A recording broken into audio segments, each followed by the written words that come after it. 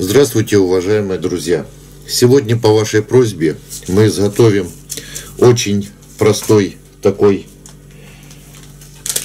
эмиджер, который рассчитан на поимку красноперки, уклейки и другой мелкой рыбы.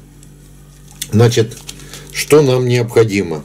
Нам необходимо сейчас с вами взять крючок Shrimp, практически любой крючок, который подходит из этой серии. Я вот подготовил вот такой крючок. Это фирмы Гамакацу, Цешка, номер 16. Э, на мельче я не советую делать, так как неудобно потом будет извлекать у рыбы. Хотя пробуйте. Он и так сам по себе, этот крючок, э, несколько смотрится мельче, чем, допустим, у других фирм. Поэтому вот тот, который у нас номер 16, это практически крючок, который будет соответствовать номеру 18 другой фирмы по величине. И теперь нам с вами понадобится. Э, я немножко, вот как заметно на камеру будет, слегка почистил перо страуса, но не до конца. Оставил вот такое определенное количество обороток, приблизительно до сантиметров 10, вот как вы видите, до вот этой части. Можно использовать при изготовлении я очень часто использую вот такие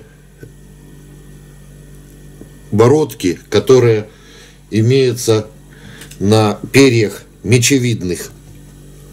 Поэтому выберите для себя сами. И теперь нам остается только лишь слегка вот в точке, где будет крепиться наша грудка, чтобы мы не комкали тело, подхватили. Теперь я беру э, люрикс, который я вам неоднократно уже показывал для изготовления мушек, чтобы можно было немножко приукрасить мое тело. Нанесли на крючок капельку клея и теперь, чтобы вам было это видно, стараемся не делать горбылей. Начинаем крепить и перо, и люрикс на нашем крючке.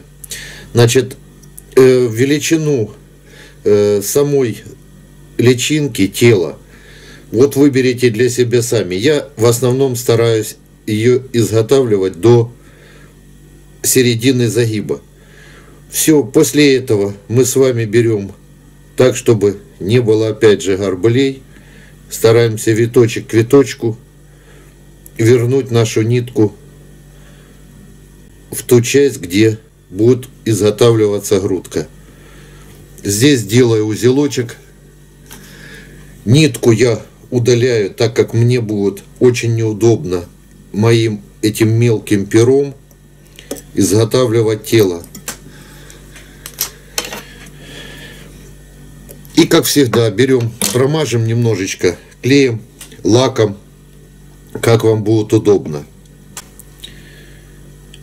Если вы захотите изготовить, допустим, более крупную личинку, можно спокойно, я уже неоднократно показывал, вот использовать вот такие силиконовые резинки. Ну, как вы видите, здесь не совсем выйдет, потому что сама резинка у нас очень толстая. Выберем для себя тот угол, согласно которого мы будем выполнять обмотку – и стараемся виток к витку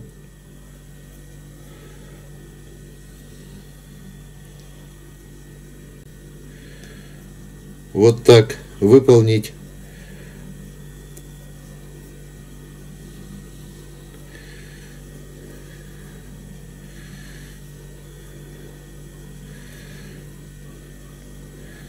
обмотку нашего тела.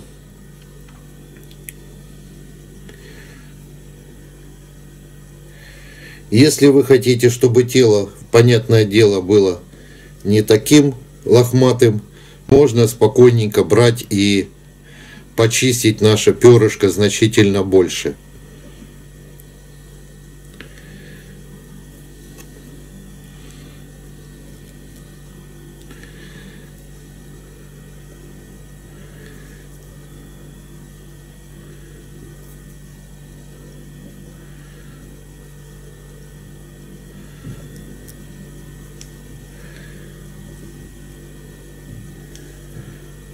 Вот мы дошли до места крепления, там, где будет у нас уже изготавливаться сама грудка.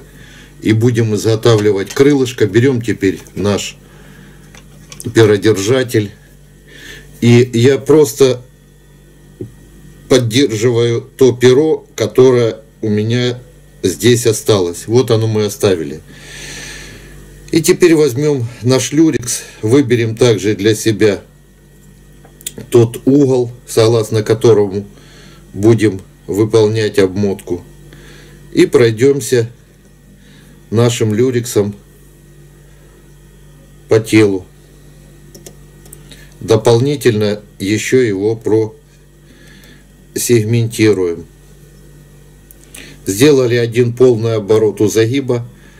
И теперь выбираем для себя шаг согласно которого будем идти. И выполняем вот такую вот обмотку. Как вы видите, клей не дает нашему перу распускаться, даже оторвавшись от перодержателя.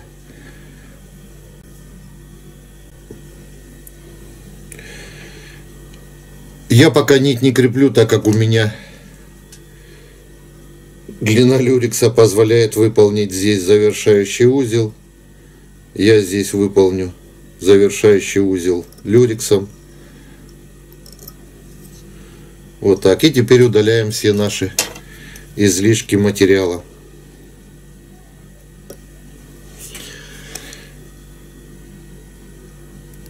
Теперь что самое основное? Нанесем, как обычно, капельку лака или клея на место крепления.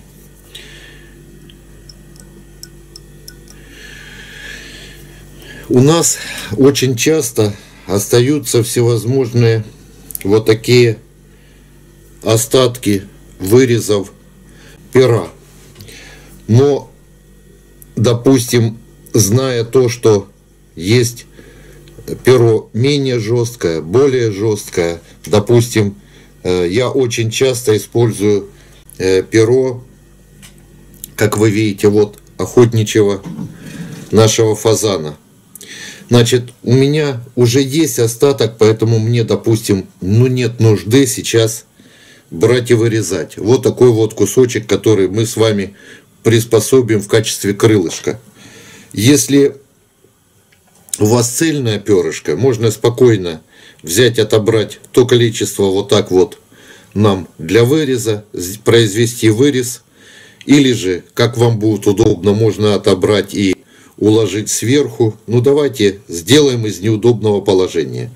Я беру, допустим, сейчас давайте вместе с вами отведем то количество бородок, которое мы будем считать нам они лишние. Желательно брать, э, друзья, перо чтобы оно было достаточно симметричным, чтобы не было вот кособокости, однобокости. Вот приблизительно мы с вами отобрали для нашего нашего крылышка вот такое вот такой вот вырез.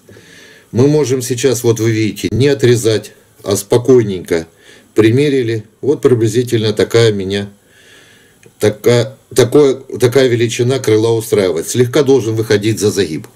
Чтобы крыло наше более красиво лежало э, сверху, нам понадобится сейчас немножечко еще перо.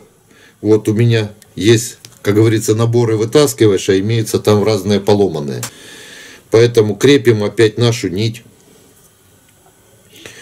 Нить желательно использовать как можно тоньше и в то же время крепче. Я уже в своих фильмах вам рассказывал, то есть я пользуюсь только своей нитью, за редким исключением могу использовать нить других производителей. Всех блестящих элементов нам с вами вполне достаточно, поэтому ни люрикс, ни чего больше мы добавлять не будем. Закрепили. Выберем для себя тот угол, слегка заходим на наше тело и уже скроем вот так симпатично то место, где мы с вами закрепили все материалы. Сделаем такой своего рода, как трамплинчик, шарик, чтобы можно было более качественно закрепить перо. Подняли вверх, не отрезаем. Нам еще перышко это с вами понадобится.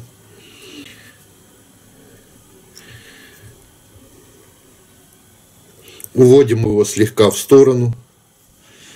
И теперь закрепим то крылышко, которое мы с вами изготовили. Значит, это вариант э, довольно-таки э, простой. И как вы видите, я не разделяю крылышки, не ставлю два отдельных выреза. Почему? Потому что и в таком, в упрощенном варианте наша мушка достаточно хорошо работает. Друзья, следим за тем, чтобы у нас наше перо лежало строго, строго сверху. Вот приблизительно вот так должна выйти у нас конструкция. И теперь буквально вы сами можете уже для себя выбрать или же сделать покороче или несколько подлиннее. Давайте теперь подберем перышко, то, которое нам необходимо для опушки. С этим у меня я уже неоднократно говорил, есть проблемы, поэтому вот я буду использовать то перо, которое несколько близкое, но в то же время оно не совсем подходит для изготовления небольшого ёршика.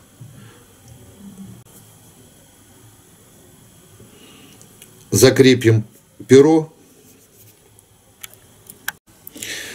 Вот как вам видно, я буквально капнул капельку клея и закрепил само перышко. Теперь э, перо можно закрепить так, чтобы бородки шли как к загибу, так и к колечку. То есть здесь большого значения не имеет. Э, главное нам совсем буквально, вот, чтобы перо было жесткое для сухих мушек, вот как вы видите, вот сколько у нас здесь получается – выполнить парочку оборотов для того, чтобы мы могли обеспечить хорошую плавучесть нашему такому импровизированному комарику. Количество оборотов следите, смотрите по своему перу, как вам будет удобно. То есть это не принципиально. Два или, допустим, там три оборота. Или вы сделаете четыре. Все зависит от той рыбалки, которая у вас происходит. Если рыба очень осторожная, желательно, конечно, не наматывать очень много пера, так как это ее будет тоже отчасти настораживать. Добавим на место крепления также немножко клей. И теперь я пока не отрезаю, так как мы немножко нарушим с вами конструкцию. Перевожу вот снизу для того, чтобы как я уже рассказывал, перо, видите, оно у нас буквально внизу, получается, мы своим перышком уже разделили те бородки. И перевожу перо павлина вперед. Ну а теперь остается нам только лишь выполнить симпатичную здесь головку. Просто я буду закрывать руками. Вот. Я покажу, как в начале, а вы уже, я думаю, поймете сами. Вот мы выполнили парочку, тройку, вот так выполним оборотов. Вот так. Поджимаем нашим пером бородки того пера, который мы с вами закрепили. Но опять же следим за тем, чтобы у нас головка никуда не съехала. Поднимаем перо вверх. И теперь уже окончательно закрепим нашего павлина. Уводим все назад.